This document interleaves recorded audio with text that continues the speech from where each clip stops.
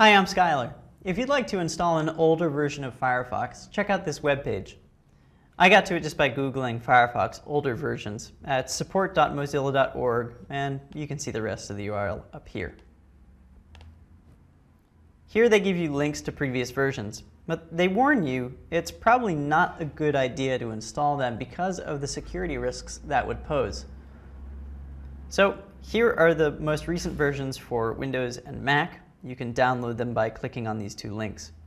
If you want something that's much older than that, click here, Directory of Other Versions and Languages. So now we can see the public index of all versions of Firefox. So let's say you want to install one from 2009 for nostalgic reasons. You can click on that folder and get to all of the resources you would require to install it. So we'll click on Mac and there we go.